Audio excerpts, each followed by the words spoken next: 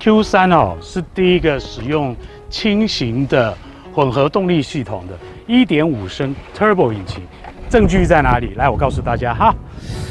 它在后行李箱底板下面呢有一颗这个，这个就是它的48伏特的电池跟控制系统啊，就在这里。糟了，偷偷被发现，我把它拆了。哈哈哈哈那至于它的原理是什么，看影片。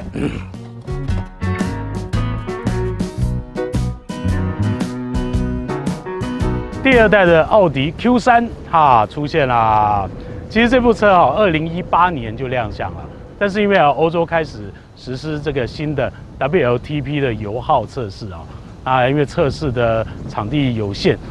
大家都在排队，所以上市一直延宕延宕。那今年二零二零又碰到新冠这个肺炎的疫情哦，所以一直到六月份啊，终于啊 Q3 引进了台湾。不过呢也没有关系，因为它的衍生车款 Q3 的 Sportback，哇，超帅气啊！这个车子也一并引进了哈，所以对我来讲，我当然是要找比较帅的那一部来测试啦。你看看这个车头的设计啊，你看水箱罩它的呃材质，这个几何形状有多么复杂，还有它的下气坝。它的层次感多么丰富，而且从引擎盖造型你也可以看得到，哇，奥迪，我上次试车就就说过，奥迪在工艺上面啊，在设计上面，它就是要强调他们的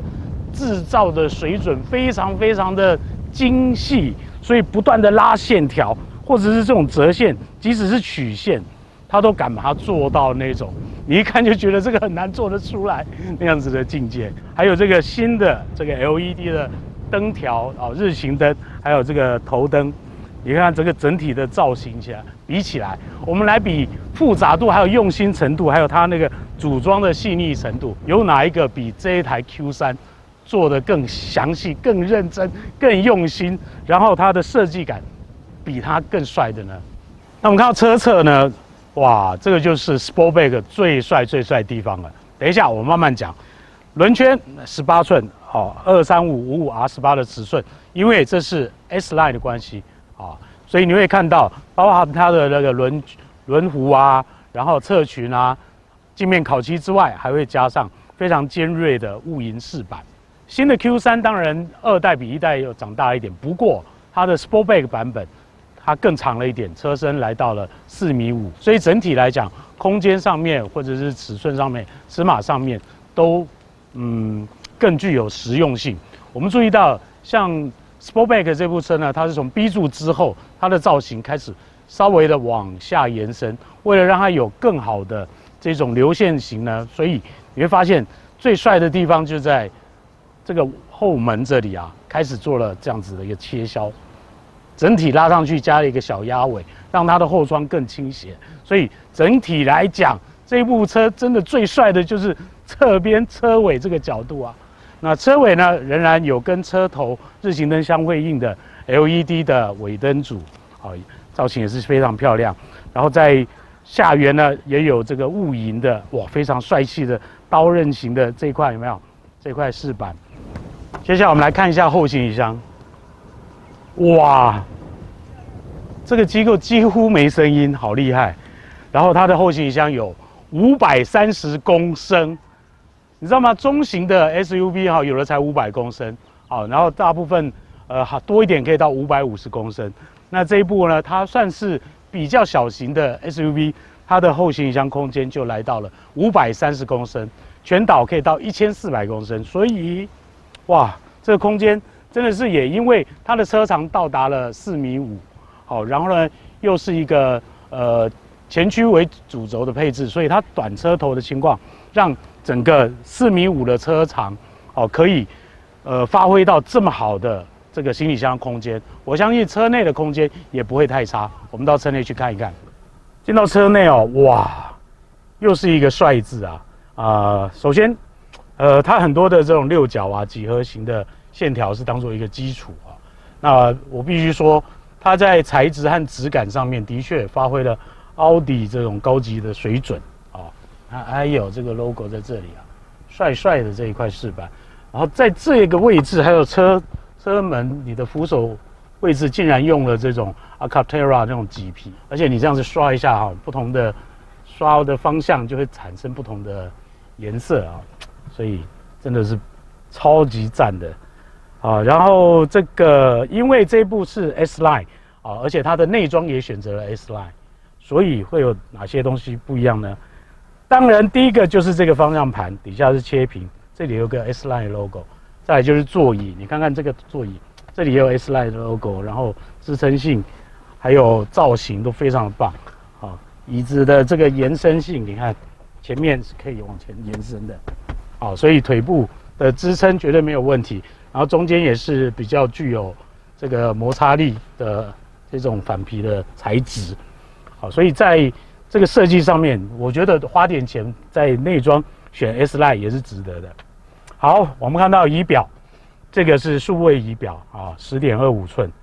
就也是一目了然。不过你还可以再加价哦，好像大概十万多一点吧，选真正的虚拟数位仪表，不是说真正的啦，哎，它是更大，十二点三寸。那中间这里这个是八点八寸的触控荧幕，当然就有 Apple CarPlay、Android Auto 的支援。而且它的这个触控也是非常非常的顺畅，啊，然后中间这一区是空调，而且你要特别注意哦，我说奥迪厉害是厉害在什么？它的每一个旋钮的材质还有质感都做得非常的漂亮，好细，然后旋转起来，哦，它那个咔咔咔咔哇，那种精确感啊，就会让你很喜欢。底下则是一排啊。最左边是 Drive Select，就是驾驶模式的选择钮。这里有这个 HDC 啊，陡坡缓降的设计。然后这里可以放手机，再大的手机也放得下啊。不过没有无线充电，这应该是要选配啊。然后它给了一个传统的 USB 口和一个 Type C 的 USB 口。S Line 呢，它连顶棚这个都是黑色的，所以整体气息也很棒。然后这个脚踏板也是铝合金的，啊，进。进出车门这个门槛也是有一个 S Line 的 logo 啊，所以我觉得在质感还有设计感上面，这部 Q 三我也给它几乎是满分的评价。那坐到后座呢，我们觉得这个质感哈跟前座是一样，特别是你在这边可以感受到它这个后座椅子的这个长度哦，仍然有足够支撑你的腿部了这样子的。然后这个椅垫呢，嗯，我觉得软硬度还蛮适中的，长途坐起来，包括头枕啊，都可以让家很有效的支撑，而且不会太硬啊。那空间方面啊，我身高一七七，所以你看到后面的这个腿部膝盖空间大概剩下一个拳头半呐，啊，哦，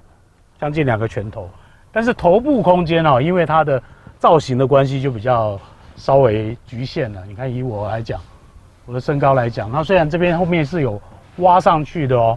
好，大概只剩下三个指头，不过还好，不至于会真的影响太大了。好，不过在中间的座位，好，可能就比较辛苦一点，因为它这边啊，地板上是有很大的凸起，原因是因为它还有夸抽的系统，对不对？好，那我们看一下它中央扶手呢。哎，相当宽，而且平整哦。哎，哦，这个自备架的设计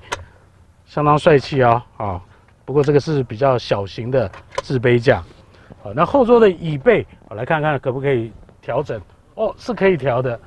而且是多段的调整。好，那如果调到最斜的这种情况的话，哎，其实它这部分还是有侧向支撑的。所以我觉得坐两个人是相当刚好，而且每个人的手背也有地方可以。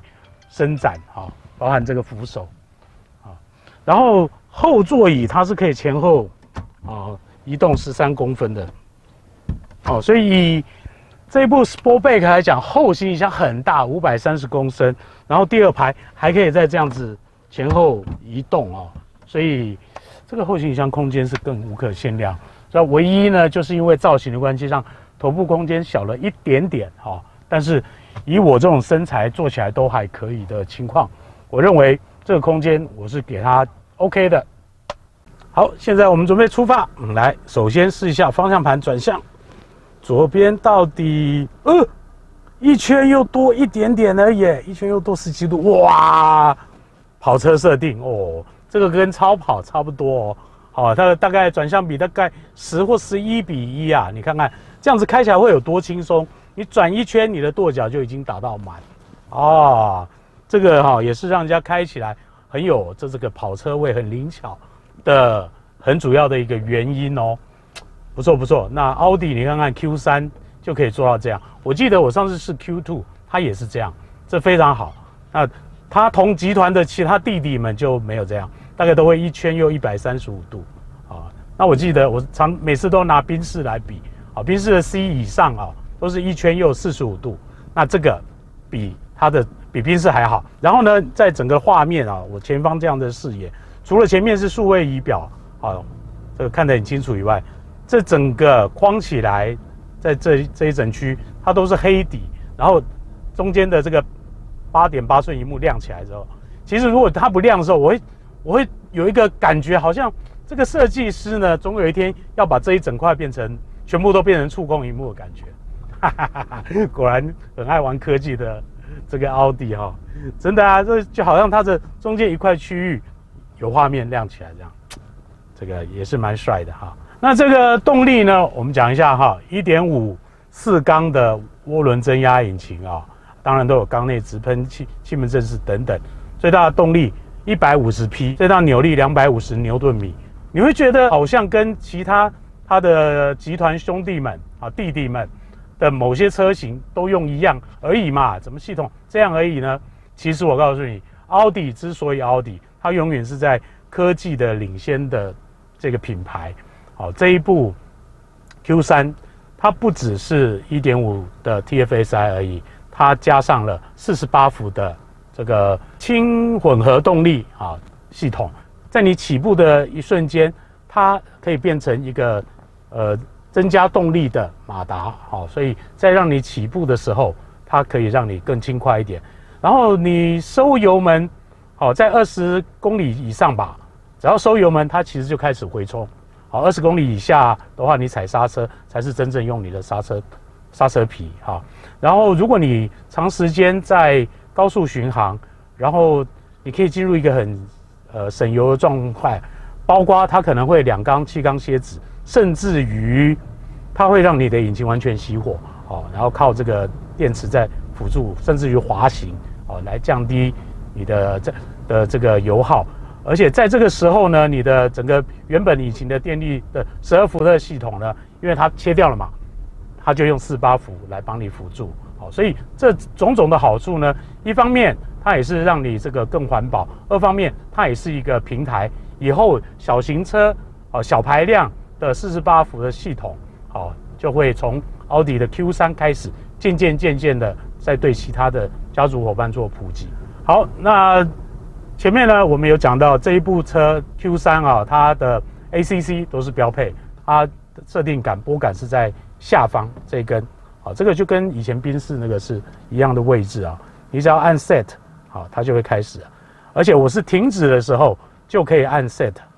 哦，它预设是三十公里时速起跳，所以这个是一个全速域的 ACC，好，而且全这个车系就是标配，好，我觉得很棒。好，那我已经设定了这个系统开启，那我要把速度往上或往下提高，就是左下角这根拨杆往上或往下，好，那么跟前车。距离啊有多远呢？也是在内部这个有一个小拨杆，往往上或往下拨，可以决定跟前车的距离远近啊。有四个四段可以选啊，而且它的 ACC 作动起来，我觉得是非常顺的，所以它比较不会有这种突然急加速或是急刹车的情况发生。啊，这个是系统的成熟度，我认为这些欧规系统真的是做的比呃。大部分的日规系统要再更好一点点。好，那我现在车速哈有超过六十五哈，所以我们现在车道偏移，这个驾驶辅助哈车道偏移的部分有亮起来。那我来体会一下给大给大家看哈。假设呢，我稍微的移动一下，哎，好，右线碰到，所以它亮红灯，它就帮我抓回来放打正。你知道吗？他这个算是聪明，他没有办法，他没有帮你做车道维持，但是它是帮你偏回来，然后就打正哦。哦，它并不是那种，呃，会让你在路线中间打乒乓球那种概念哦。所以还算是有小小有作用啦。哦，虽然要车速大约六十五公里以上才会有效果，但是我觉得这个提已经起了一个还不错的这种警示，并且帮你修正的功能。哦，那我们当然也一直希望就是不要太依赖这样子的功能哦。反正你即使是 Level Two，我们也都都希望你要随时把手放在方向盘上面。那因为这部车的外观很帅啊，都选了 S Line 的套装哦，所以它的轮圈轮胎从十七寸提升到了十八寸，而且是二三五五 R 十八哦，所以轮胎也蛮宽的。哦，那虽然它的悬吊的设定哦还是属于柔软型的，毕竟它只是嗯比较入门偏舒适的哈，还不是到什么 RS 啊 SQ 啊哦那种。偏跑格的，所以它舒适度还是很不错，好，舒适不错，但是仍然具有这种欧系车的 Q 度啊。但是也因为我刚刚讲的 S Line 它的轮圈啊、轮胎轮胎啊比较宽一点，所以地面的摩擦噪音哦仍然听得清楚。哦，这个对于高级车来讲，我觉得这个是轮轮胎声音呃稍微明显听听得比较清楚一点。不过，如果是原厂的，就是你没有选 S Line 的话，十七寸的话，那应该可能会再安静一些。哦，不过以舒适度来讲，我觉得是没问题，车子的稳定程度也都很好。然后再加速的话呢，嗯，因为这个是一点五 T 啊，所以呃原厂的数据零一百大概九秒五啊，所以我觉得就还算动力可以啦，就是够用啊。但是呢，原则上这一台动力，呃，以 Q3 Sportback 来讲，是真的是属于呃开帅不开快，哈哈哈。啊，又到了结尾时间，哎，不过我决定哈，今天结尾我不要坐在后车厢里面，好，虽然它是我们的传统，因为呢，我觉得这部车的车尾实在太漂亮啊，我希望让大家继续看这个车尾的设计啊，真的是我。最近很少看到这个车子让我一眼就觉得这设计赞，哎，好，那我们今天试的这个 Sportback 三五 T FSI 的 S Line 呢，呃，它的价格嗯是两百零六万，好，因为它是有 S Line 外观，不过我们试的车子有加选 S Line 的这个内装套件，好，所以价格又加了五万四，总共呢是两百一十一万四。OK，那你说啊，只有三五 TFSI 吗？啊，如果你想要更好的动力，哦，其实 Q3 的版本哦，不是 Sportback 哦，它有四零 TFSI Quattro 的 S Line，现在就可以买得到的。哦，它有一百九十匹马力，三百二十牛顿米的扭力。哦，它的 S Line，呃的版本哈，呃，正式售价是两百一十六万。哎呦，其实只多十万块耶，两百零六跟两百一十六哎，哦，它就有。更好的二点零的呃动力哦，一百九十匹，还有 Quattro 哦，所以这两个你可以选择一下。那这一台 Sportback 的四零 TFSI Quattro 的 S Line 明年就会引进哈，我估计它价格可能还会再高上一点点，到时候再会跟再会跟大家报告。好，那我们聊这些这种小型的 SUV 啊，尤其是这种高级品牌啦。嗯，我想价位哈都不是太大的重点，反正它价格大概都是什么一百八九十万起啊，到两百二三十万，还有一大堆选配，你要选到两百八、两百九都有啊，啊，甚至于有更高规格、更高这种动力的版本都有啊。那但是呢，我主要就它的这个设计的思维，好，还有它的这种每个不同的属性来跟大家比较一下啊。比如说这台 Sportback，你如果以 B M W，你可能就会想到这个 X Two，好，X Two 呢其实比 X One 哈还要短一些，好，X One 在四米四几嘛，X Two 就四米三几，不到四米四，哦，所以它的做法，它把它运动化的做法是车子缩短一点，好，看起来结实一点。虽然轴距是一样的，二六七零 m m 我是指 B M W X One 跟 X Two 是一样的，好，轴距是一样，那做法不一样，就是 Sportback。的话，跟 Q3 来比，它是把车尾拉长一点，所以它的行李箱空间仍然一样好，好五百三十公升，赞，好，唯一只有牺牲后座头部空间一点点而已。所以整体来讲，我认为它是完全兼顾了实用性以及它的实用的空间。好，那车室空间就少那么一点点，我觉得大家都可以接受。好，那就讲到 GLA 呢，GLA 也算是非常新的产品哈，所以也是 NGCC 这一块拼图嘛，它各方面都很成熟，轴距也很长，好，它已经到了二七二九 minimeter 哈，长一点点，但是它的后行李箱空间是稍微小一点，只有四百三十五公升，这个是五百三哎，稍后这个就有点差距了哈。所以，因为 G L A B 啊，G L A 还有一个兄弟就是 G L B，它的空间就超大了，对不对？所以他们会做产品的区隔。好，所以大家喜喜欢什么样的产品，在这个嗯集聚里面，好豪华车的小型 S U V 里面，你就有好多可以选啊，X One、X Two，好，你看你喜欢空间，好，你就可能会喜欢啊，譬如说 Q 三、X One 或是 G L A，哦不对，G L B，好，那空间更好。好，那对我来讲，我是认为。这台 Sportback 的设计实在是太帅了，哦，帅到没朋友的感觉，这样子哈。好啦，今天讲那么多哈，我希望这个大家喜欢的话，好，赶快分享给你的好朋友看，有兴趣的找个经销商，奥迪经销商去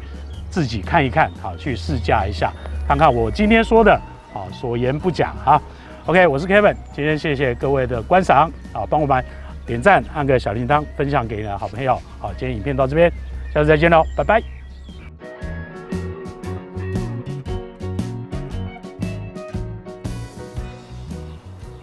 嗯嗯嗯，哇，这个造型真的是帅，